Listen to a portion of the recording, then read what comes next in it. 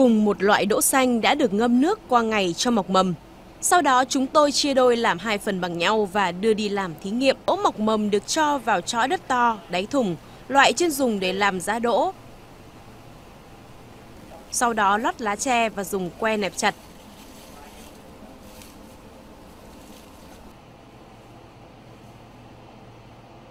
Tiếp tục quy trình ủ giá. Phần còn lại chúng tôi cho vào nước, ngâm với vài giọt thuốc kích thích làm giá. Sau 15 phút, vớt cho ráo nước.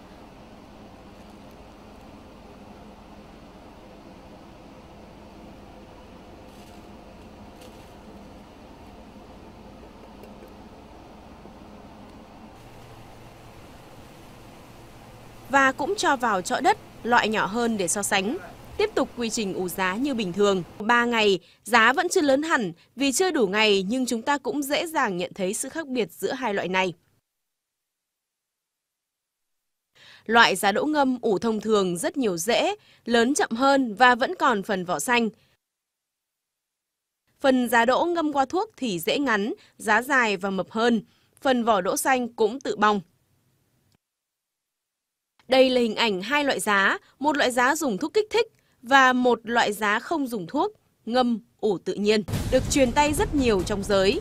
Nó là loại thuốc màu trắng, dạng nước, đựng trong những hộp nhựa nhỏ, không nhãn mác hoặc chỉ ghi một vài dòng chữ Trung Quốc sơ sài. Những người làm giá đỗ chuyên nghiệp vì chỗ thân tình đã giúp chúng tôi mua những lọ hóa chất này với giá 7.000 đồng một lọ. Họ cho biết chúng thường được chủ các cửa hàng bán đỗ tặng không cho người mua hàng nếu mua với số lượng lớn. Nếu không quen biết thì không bao giờ mua được. Một lọ hóa chất nhỏ có thể làm ra được vài trăm kg giá. Lá đỗ thì là một loại thực phẩm rất là bổ dưỡng, đặc biệt là nó cung cấp các vitamin và nhiều các chất dinh dưỡng khác. Nhưng để gọi là vì lợi nhuận thì có thể nói nhiều cơ sở người ta sử dụng các hóa chất gọi là kích thích phát triển. Đấy.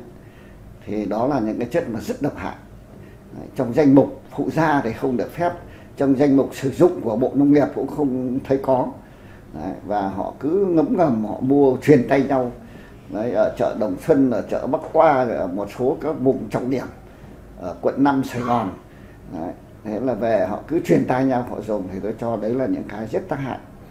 Cái tác hại đầu tiên tức là nó gây ra những cái tích lũy chất độc trong cơ thể. Đấy.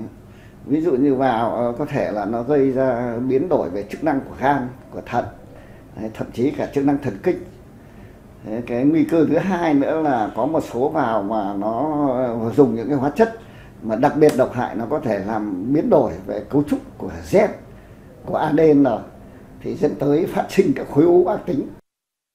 Cách sử dụng loại hóa chất này chúng tôi có được cũng là do những người làm giá truyền tai, đó là ngâm đỗ mọc mầm, sau đó ngâm một lượng hóa chất nhỏ thêm 15 phút, vớt ra để ráo nước và cho vào chọ đất ủ bình thường. Tác dụng không như nhiều người lầm tưởng là cho giá mọc nhanh thần tốc. Mục đích chính của những người dùng là để giá bị mất hết rễ, mất phần vỏ xanh, đầu giá và mình giá mập. Quan trọng nhất, loại thuốc ủ giá này có tác dụng chống cho giá không bị ủng, hư hỏng.